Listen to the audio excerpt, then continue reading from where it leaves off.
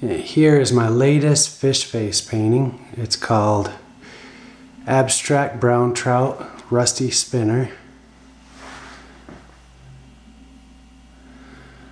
And I really like this painting with all the bright colors, the purples and pinks and blues and reds and yellows. It's really got a ton of different colors in it.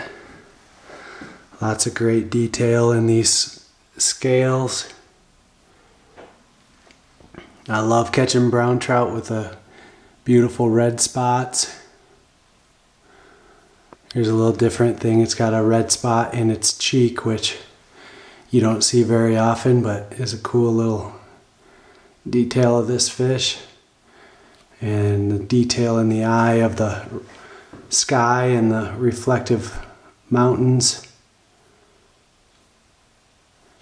And here is the little rusty spinner fly that this brown fell for.